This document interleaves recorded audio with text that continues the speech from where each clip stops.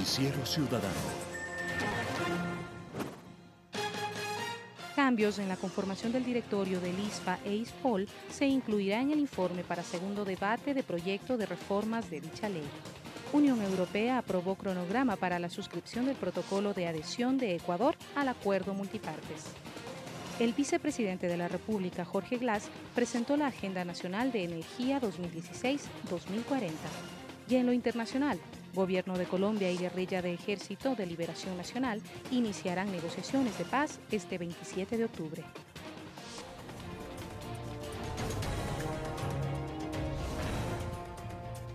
A 3.600 metros de altura el día de hoy en La Paz, Ecuador, la TRI, consiguió un empate, así que este es un gran martes 11 de octubre. Bienvenidos. Por casi 16 años, las empresas que ofertan servicios de medicina prepagada no contaron con ningún tipo de regulación, ¿lo sabía usted? Acción que motivó a que éstas actúen en favor de sus propios beneficios económicos, sin contemplar las necesidades de sus afiliados. Es por ello que la Asamblea Nacional impulsa la Ley de Medicina Prepagada, que garantiza un verdadero sistema de salud. El proyecto de ley de medicina prepagada plantea brindar, entre otras cosas, una mayor cobertura a la ciudadanía e involucrar a las compañías que ofertan servicios de medicina prepagada en el financiamiento del tratamiento que requiera el paciente, tal como lo explica Richard Espinosa. Si alguien tenía un contrato, por ejemplo, de 5 mil dólares, la operación, una operación, por ejemplo, de corazón abierto, de 30 mil, cuánto te cubre eh, finalmente la empresa privada, menos el deducible, son 4 mil dólares. Los, eh, eh, la diferencia 26 mil dólares te cubre directamente el IES. De igual manera, si los aportes que ha realizado el usuario a la empresa de medicina prepagada no llegan a cubrir la necesidad del paciente, el IES asumirá el costo que éste requiera. Sí se pueden dar casos en que un contrato sea de 5 mil dólares, se hace un trasplante renal con nosotros, cuesta más de 100 mil dólares, la empresa de medicina prepagada privada cubre 5 mil y nosotros los 95 mil o lo que cueste. La ministra de Salud, Margarita Guevara, dijo que con la vigencia de esta ley, las compañías ya no podrán hacer una selección adversa.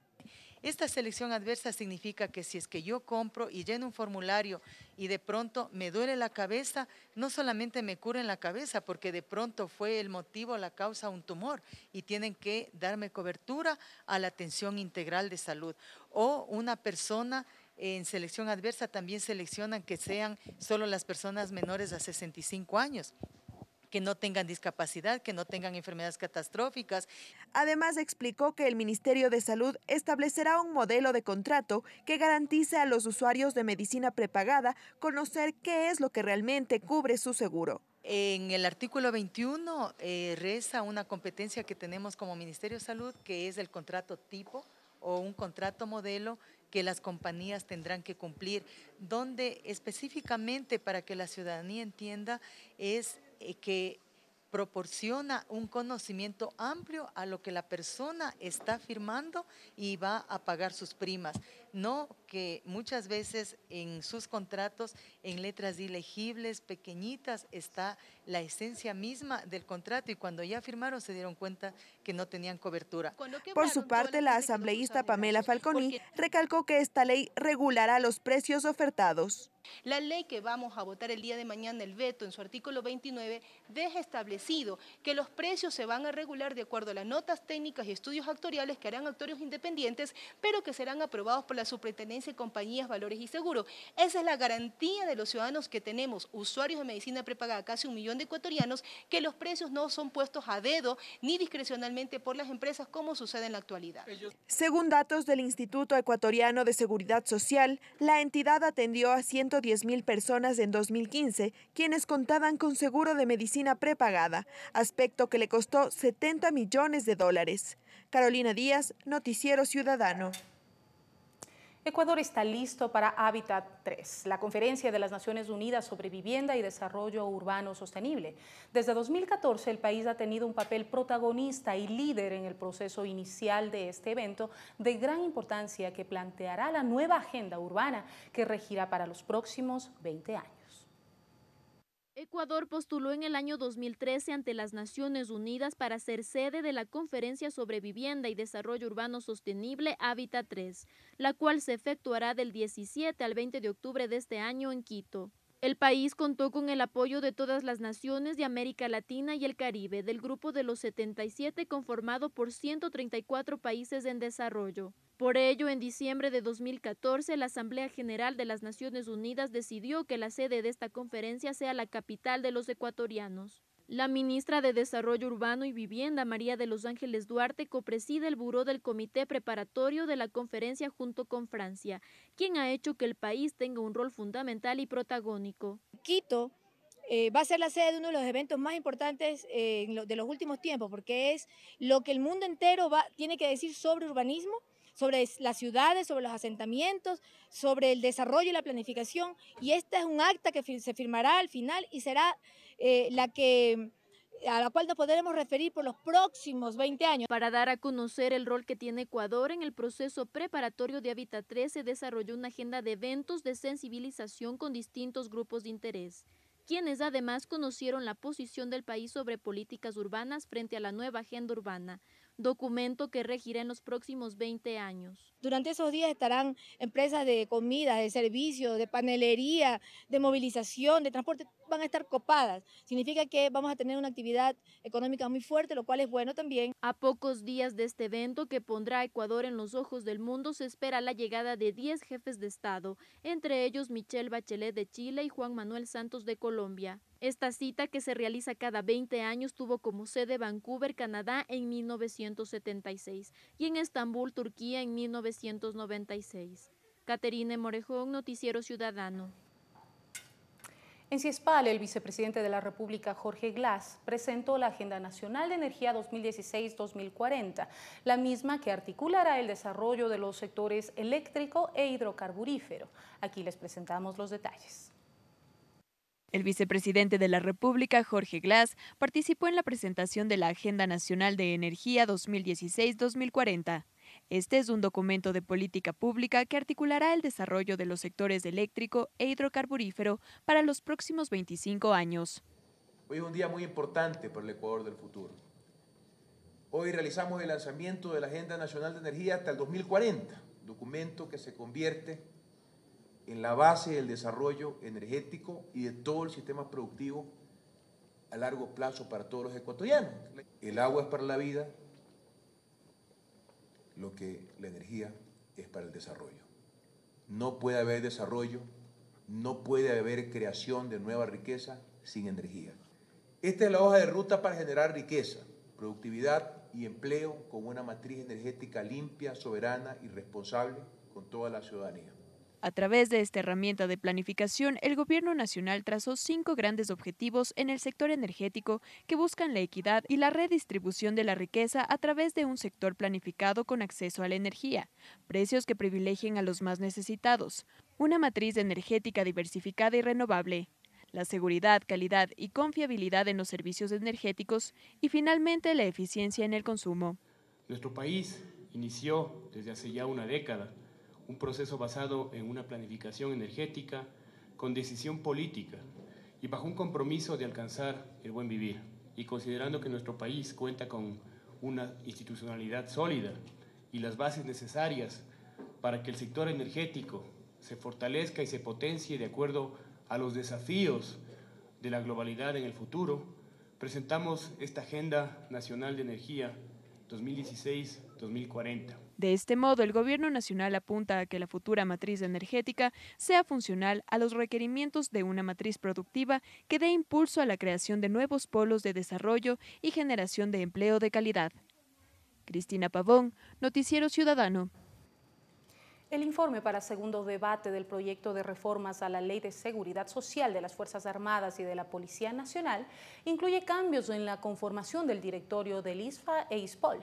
Por otro lado, iguala los seguros por muerte independientemente del rango. El proyecto de reformas a la Ley de Seguridad Social de las Fuerzas Armadas y de la Policía Nacional, remitido por el Ejecutivo, presenta cambios. El objetivo, mejorar la actual ley con acciones de equidad y solidaridad en los miembros de estas instituciones. Alcanzar eh, un nivel de equiparación adecuada entre los beneficios, entre las prestaciones que tienen los eh, ciudadanos de este país. Aquellos eh, valores que anteriormente se em, recaudaban de parte de los servidores públicos y particularmente de los militares y policías y que no tenían sentido de recaudarse, no, se, no lo hagan. Como efecto del techo que se fija para las pensiones de retiro, los aportes militares y policiales se reducirán del 23 al 11.5% para financiar al ISFA o ISPOL, lo que permitirá que los sueldos netos de los militares y policías se incrementen. Este proyecto de ley tiene dos partes. Una parte que va específicamente para los nuevos integrantes que ingresen luego de la vigencia de esta ley y otra parte que va para los antiguos, para los que ya están. Otro de los beneficios que son para los antiguos y para los nuevos es que estamos aumentando el seguro de vida. Actualmente el seguro de vida de la Policía Nacional, por ejemplo, eh, para todos los oficiales y de tropa activos es alrededor de 24 mil dólares. Lo estamos subiendo a 50 mil dólares para todo el personal de la policía y de las Fuerzas Armadas en servicio activo. Otra modificación es que los directores generales tanto del ISFA como del ISPOL serán nombrados por los respectivos consejos directivos. En el caso de los militares, la terna deberá ser presentada por el ministro de Defensa. Las modificaciones en cuanto a pagos del ISFA e ISPOL tendrán efecto en los nuevos miembros. Quienes actualmente están activos en la fuerza continuarán como hasta ahora, independientemente de la aprobación de la ley. Cristina Pavón, Noticiero Ciudadano. El Pleno de la Asamblea aprobó con 88 votos afirmativos, 22 negativos y una abstención el proyecto de Código Orgánico de la Economía Social de los Conocimientos, Creatividad e Innovación Ingenios. La normativa generará un marco legal en el que se estructure la economía social de los conocimientos, la creatividad y la innovación. Además, busca modificar el paradigma sobre el uso y aprovechamiento del conocimiento, corta la dependencia tecnológica y considera a los saberes ancestrales y sobre todo responde a una construcción colectiva. Con esta normativa las universidades privadas cumplirán un papel fundamental en la formación del recurso humano. Podrán manejar sus propias cuentas de recursos por autogestión y saldos sobrantes. En el documento se incorporan los consensos alcanzados en la consulta prelegislativa, aportes, recomendaciones y propuestas planteadas por los organismos e instituciones públicas y privadas, organizaciones sociales y la ciudadanía en general. Es tiempo para un primer paréntesis en este, su noticiero ciudadano Emisión Estelar, pero al volver tendremos más información para ustedes, como por ejemplo que el día de mañana, 12 de octubre, se conmemora el Día de la Interculturalidad. Les contaremos sobre algunas actividades para ustedes. Ya regresamos.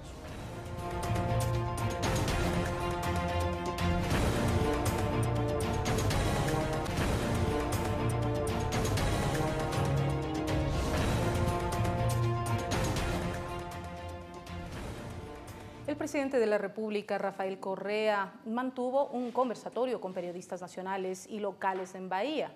El jefe de Estado abordó una serie de temas coyunturales que veremos a continuación. Sobre la temporada invernal en las provincias afectadas. Muchas veces somos muy paternalistas. O sea, se le dice a la gente, salga de esta orilla. No, aquí nací, aquí crecí, aquí me quedo. Viene, se desborda el río, se va la gente y la culpa del gobierno del municipio porque es irresponsable. Eh, con mucho dolor les tengo que decir que muchas localidades de Manabí estaban destruidas antes del terremoto. Está todo asignado, todo asignado. Por eso evaluamos semana a semana, porque el que no cumple, liberamos espacio y asignamos otros proyectos que están en espera. Pero todo está asignado. Sobre la reconstrucción. O sea, mire, lo que se ha hecho en seis meses sorprende al mundo. En 80 días ya tenemos 60.000 chicos que habían perdido sus escuelas de nuevo en clase. Eh, se está trabajando en todos los frentes, en algunas el trabajo es impresionante, avanzando en carreteras, se construyen miles de viviendas, se están terminando obras que se aceleraron para recuperar la provincia, por ejemplo, centros de salud que o estaban parados por diferentes problemas o avanzaban eh, no tan rápido. Entonces, eh, lo que se está haciendo realmente es impresionante ¿no? y debe llenarnos de sana satisfacción. Sobre las negociaciones de paz en Colombia. Y es un gran mensaje, porque después del resultado desfavorable, del referéndum del 2 de octubre. Y bueno, había mucho peligro de que retroceda la paz, de que la FARC tomen las armas nuevamente. Y en lugar de eso, se anuncia esa extraordinaria noticia de que el Ejército de Liberación Nacional se sienta también en la mesa de negociaciones. Mañana 12 de octubre se conmemora el Día de la Interculturalidad. En el marco de esta fecha se realizarán algunas actividades. Rodrigo Coyaguazo, director de la Coordinadora de Movimientos Sociales, comentó al respecto. Estamos invitando a que nos concentremos en la Asamblea Nacional a partir de las ocho y media de la mañana para luego de eso hacer una caminata hacia un espacio simbólico que tiene mucha energía como es el Chimbía. Vamos a irnos en caminata para allá eh, y luego pues haremos la concentración, la sesión solemne, los reconocimientos, en donde va a haber danza, va haber música, va a haber la firma de acuerdos, va a haber el compromiso de las autoridades para que el día de la plurinacionalidad sea los 365 días del año y de todos los años. En este sentido, se va a realizar eh, un acuerdo macro de intención entre todas las instituciones del Estado para impulsar las políticas públicas de en torno a plurinacionalidad e interculturalidad y estas transversalizarlas a todas. Entonces, este creo que es un momento histórico. El segundo momento es la participación de los líderes y lideresas tanto de movimientos sociales como de todos los pueblos del Ecuador, que van a dar su voz, van a dar su expresión y sus propuestas. Y por otro lado también se va a hacer el reconocimiento a compañeras y compañeros que han planteado, eh, han apoyado lo de la construcción del Estado plurinacional. Y, un último y una última participación va a ser de las autoridades haciendo un compromiso para continuar con la construcción de este Estado plurinacional.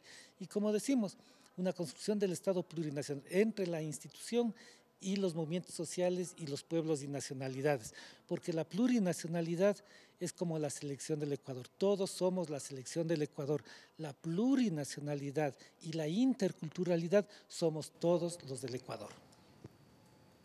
El Ministerio de Comercio Exterior ratificó que el Consejo de la Unión Europea aprobó el cronograma que cumplirá desde este 12 de octubre hasta el próximo 11 de noviembre para la aprobación y suscripción del protocolo de adhesión del Ecuador al acuerdo multipartes. El sector exportador del país ve con positivismo este paso y afirma que será una gran oportunidad para el Ecuador. El 11 de noviembre se realizará la ceremonia de suscripción del acuerdo multipartes con Ecuador, en la que participarán los cancilleres y ministros de Comercio Exterior de la Unión Europea y funcionarios de Colombia y Perú. Esta noticia la dio a conocer el ministro de Comercio Exterior Juan Carlos Casinelli durante una reunión con el sector exportador del país, quienes conocieron el cronograma que este organismo cumplirá desde este 12 de octubre hasta el próximo 11 de noviembre que dentro del Parlamento Europeo ya eh, existe un trabajo de coordinación también de revisión del borrador del protocolo, es decir, ya hay un adelanto también en aquello. La Unión Europea cuando pone fechas son fechas eh, que las cumple, porque además conocen de la importancia que para el Ecuador tiene este tema y además el Ecuador va a estar ahí presente. Este miércoles 12 de octubre los integrantes del Consejo de la Unión Europea tienen previsto recibir y analizar las traducciones del acuerdo multipartes, mientras que el viernes 14 de octubre el Comité de Política Comercial realizará la primera discusión del documento. Se prevé que el Comité de Representantes de los Gobiernos de los Estados miembros del organismo internacional aprueben la firma del protocolo de adhesión el próximo 26 de octubre. Una vez aprobada la rúbrica, el 11 de noviembre se realizará la ceremonia de suscripción. Ricardo Estrada, presidente ejecutivo de Corpey, aseguró que la firma del acuerdo con la Unión Europea le abrirá una puerta de crecimiento al sector exportador del país. Nos abre una puerta de crecimiento para el país que la veníamos buscando desde hace mucho tiempo y que se lograría contratar después de un esfuerzo que se ha hecho a través de muchos años criterio que comparte Eduardo Ledesma, presidente de la Asociación de Exportadores de Banano del Ecuador. Eso es un desarrollo para el, para el Ecuador, una noticia muy positiva para todo nuestro sector agrícola y agroexportador. Por su parte, José Antonio Camposano, presidente de la Cámara Nacional de Acuacultura, aseguró que este acuerdo será una oportunidad de crecimiento para el sector exportador que la venía buscando desde hace muchos años nos dará la garantía para seguir produciendo más, seguir invirtiendo más y seguir exportando a ese destino que valora mucho la calidad del mejor camarón del mundo. Se prevé que este cronograma empate con el dispuesto por el Comité de Comercio de la Unión Europea para alcanzar procedimientos internos que permitan poner al referido protocolo en vigencia antes del 31 de diciembre de este año, tal como ha solicitado el gobierno ecuatoriano. Caterine Morejón, Noticiero Ciudadano. Un segundo paréntesis, pero al volver les contaremos sobre una de las maravillas del Ecuador en nuestro recorrido por el mismo. Conoceremos la ruta de los volcanes. Al volver.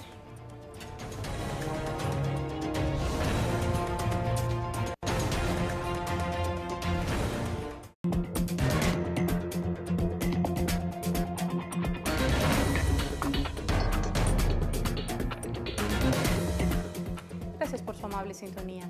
Este 27 de octubre está previsto que inicie las negociaciones de paz entre el gobierno colombiano y la guerrilla del ELN. La sede será Quito. El gobierno de Colombia y la guerrilla del Ejército de Liberación Nacional anunciaron el lunes en Caracas el inicio de negociaciones de paz que podrían poner fin a otro conflicto armado de más de medio siglo. Las delegaciones del Gobierno Nacional y el ELN hemos acordado Primero, instalar el día 27 de octubre en Quito, Ecuador, la Mesa Pública de Conversaciones. Previo al inicio de la etapa de negociaciones, el ELN se comprometió a liberar a dos secuestrados. Cada una de las partes hará, a partir de la fecha, otras acciones y dinámicas humanitarias para crear un ambiente favorable a la paz. Una fuente cercana al diálogo indicó a AFP en Bogotá que esos gestos podrían incluir la liberación de algunos presos de la insurgencia. Horas antes del anuncio, el ELN entregó al Comité Internacional de la Cruz Roja a un hombre identificado como Nelson Alarcón, a quien mantenían secuestrado desde hacía tres meses. El Ejército de Liberación Nacional es la segunda guerrilla colombiana después de las FARC, cuyo saldo alcanza unos 260 mil muertos, 45 mil desaparecidos y 6,9 millones de desplazados presidente del Comité Olímpico Italiano anunció que Roma se retira de la contienda para albergar los Juegos Olímpicos de 2024. Italia retiró definitivamente la candidatura de Roma para los Juegos Olímpicos de 2024. Anuncio que se concreta después de que la alcaldesa capitalina se opusiera al proyecto por su exorbitante costo las autoridades deportivas indicaron que enviaron una notificación formal al Comité Olímpico Internacional. Expresaron su decepción y criticaron a la regente de la administración local por su postura. Es irresponsable renunciar a los fondos del Comité Olímpico Internacional, más de 1.700 millones de dólares, y del gobierno 4.000 millones de dólares. Podríamos haber usado ese dinero para continuar obras que la ciudad necesita, el metro, trenes, medios de transporte, mejorar el estadio Flaminio, centros de entrenamiento municipales. También es irresponsable rechazar los 177 mil puestos de trabajo que habrían sido creados. El proyecto se interrumpe después de tres años de trabajo y a 11 meses para su conclusión. El Comité Olímpico Italiano afirma que su tarea ahora es aliviar la herida que deja la decisión en las federaciones deportivas y trabajar para recuperar el prestigio del deporte de su país. Apoyada por el Consejo Municipal, la alcaldesa de Roma consideraba que organizar el evento era irresponsable y representaría hipotecar el futuro de la ciudad, que posee una notable deuda de más de 13 mil millones de dólares. La lucha contra el narcotráfico continúa en Perú, donde varias toneladas de droga fueron incineradas. La policía peruana quemó el martes cerca de 8 toneladas de droga entre cocaína, marihuana y opio. Las sustancias fueron decomisadas a traficantes entre julio y octubre en varias zonas del país.